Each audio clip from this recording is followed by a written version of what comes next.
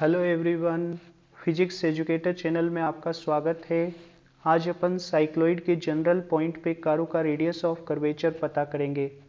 Cycloid को Wikipedia ने इस तरह से डिफाइन किया है।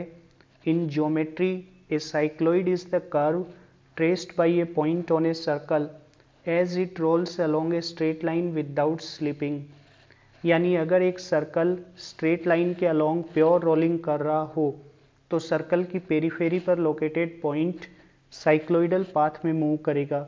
जैसे यहाँ पर देखिए सर्कल स्ट्रेट लाइन के अलोंग प्योर रोलिंग कर रहा है और सर्कल के ऊपर लोकेटेड पॉइंट साइक्लोइडल पाथ यानी इस ब्लू पाथ के अलोंग मूव कर रहा है। तो नेक्स्ट अपन साइक्लोइडल पाथ का पैरामेट्रिक इक्वेशन पता करेंगे। यहाँ पर मैंने कैपिटल आर रेडियस का एक सर्कल लिया है। सर्कल की सरकमफेरेंस पे एक फिक्स पॉइंट पी ले लेते हैं। मान लेते हैं ये circle t equal to zero पर प्योर रोलिंग करना स्टार्ट करता है। इसके सेंटर की वेलोसिटी v ले लेता हूँ और इसकी एंगुलर वेलोसिटी को ओमेगा से डिनोट कर देता हूँ। किसी जनरल टाइम t पर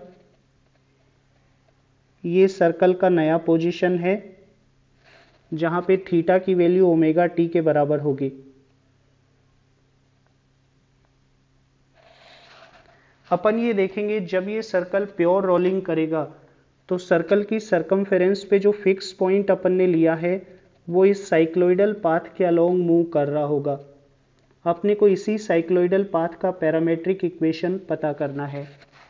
तो मैं जनरल टाइम टी पे पॉइंट पी की लोकेशन को एक्स कोमा वाई से डिनोट कर देता हूँ। पी का एक्स कोऑर्डिनेट तो ये हो जाएगा। और y कोऑर्डिनेट ये होगा। अब यहाँ पर देखिए, ये डिस्टेंस और ये डिस्टेंस इक्वल होंगे। ये डिस्टेंस आपकी आर थीटा के बराबर है तो ये डिस्टेंस भी आर थीटा के बराबर होगी। तो मैं यहाँ से यहाँ तक की डिस्टेंस को आर थीटा से डिनोट कर देता हूँ। x की वैल्यू पता करने के लिए अपन P से सामने वाली साइड पे एक परपेंडिकुलर ड्रॉप कर देते हैं। ये एंगल 90 डिग्री है। तो इस राइट एंगल ट्राइंगल में अगर अपन देखें तो परपेंडिकुलर की वैल्यू तो हो जाएगी आर साइन थीटा और बेस की वैल्यू होगी आर कोस थीटा। तो यहाँ से यहाँ तक का लेंथ अपन ये लिख सकते हैं, आर साइन थीटा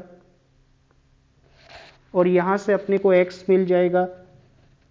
x हो जाएगा R theta minus R sine theta.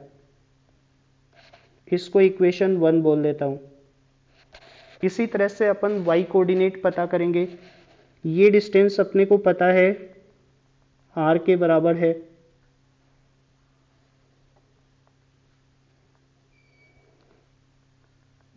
ये डिस्टेंस भी अपने को पता है।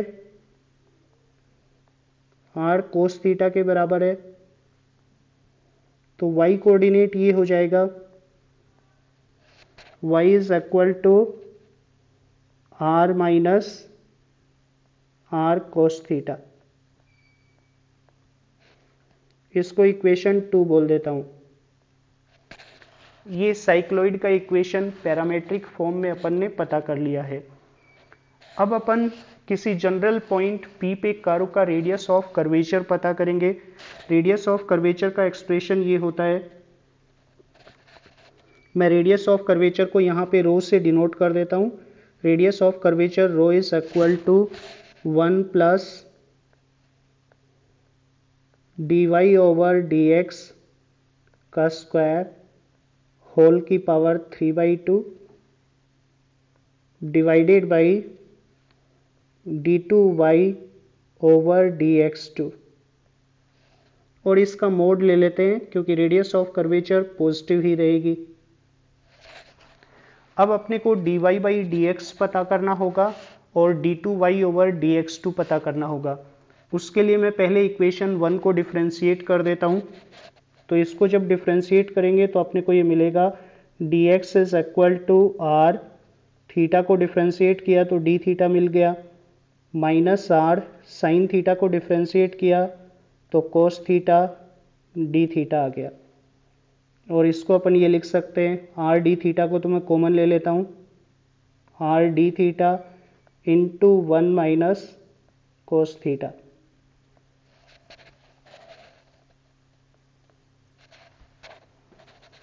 ये हो गया equation three.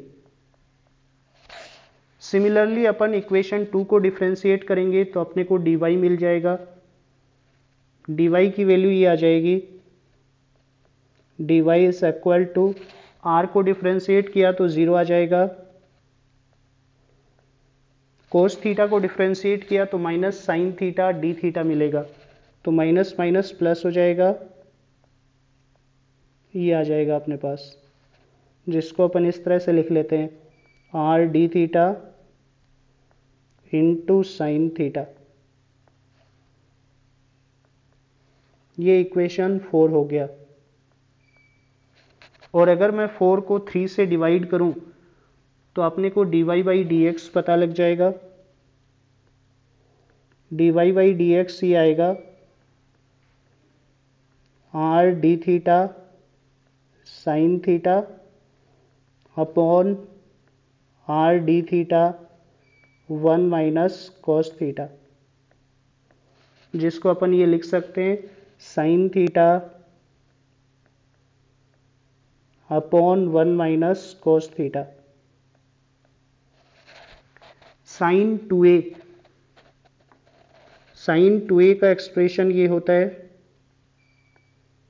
To sine A cos A. इसी तरह से one minus cos two A को अपन ये लिख सकते हैं, टू साइन स्क्वायर ए। इन दोनों फॉर्मूला का यूज़ अपन यहाँ पे करेंगे। ऊपर साइन थीटा को तो मैं ये लिख सकता हूँ, two sine theta by two, cos theta by two, और नीचे वन माइनस कोस थीटा को अपन ये लिख देते हैं। Two sine square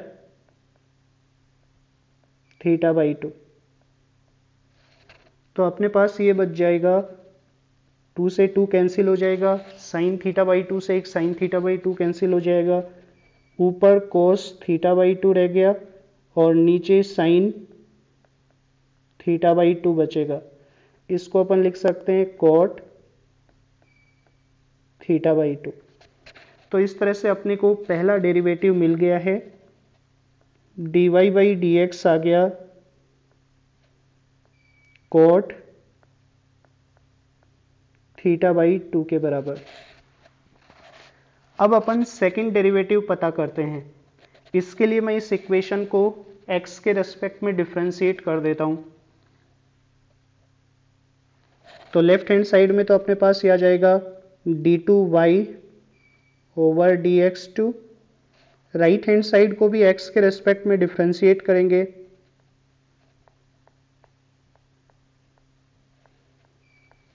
यहाँ पे function cot theta by two है, जो थीटा का फ़ंक्शन है। तो अपन चेन रूल अप्लाई कर लेते हैं। पहले इसको थीटा के रेस्पेक्ट में डिफ्रेंशिएट करेंगे।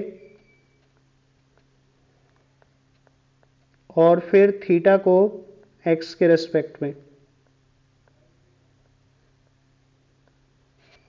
कोट थीटा बाई टू इसका डिफ्रेंसिएशन हो जाएगा minus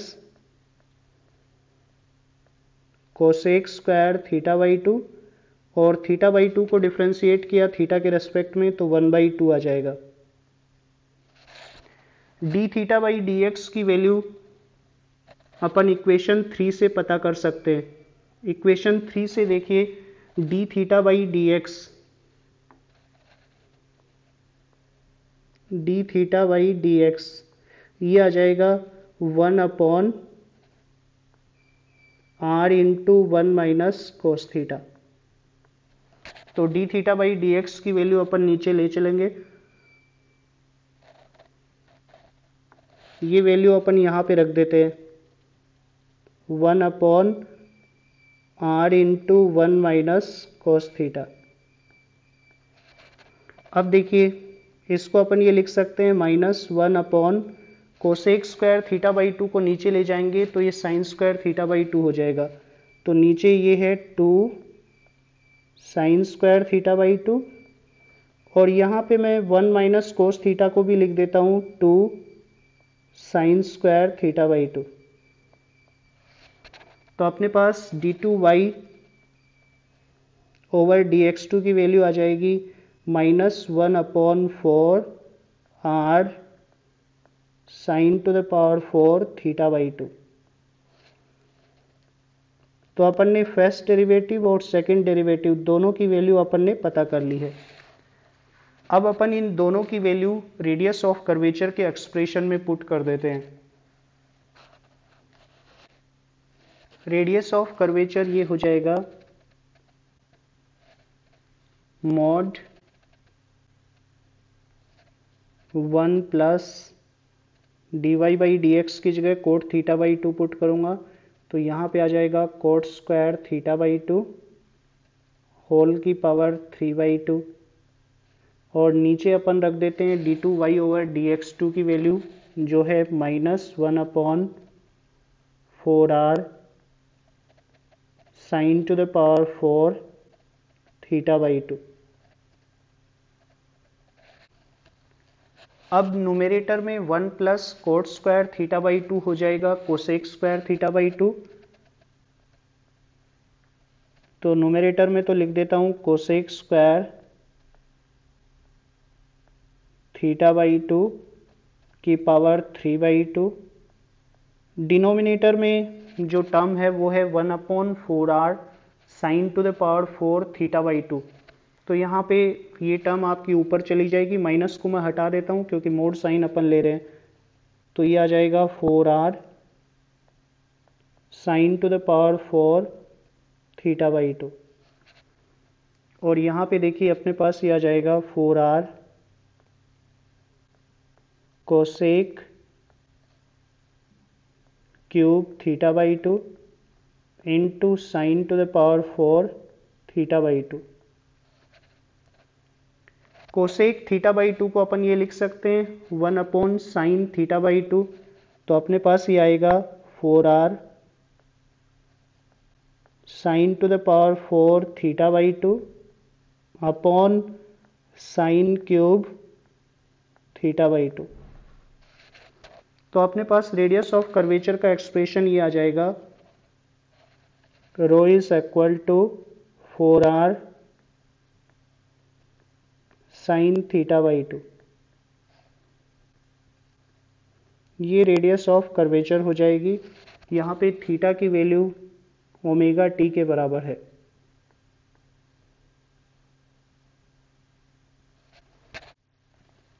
फ्रेंड्स इस वीडियो के अंदर अपन ने साइक्लोइड का radius of curvature formula method से कैलकुलेट किया है।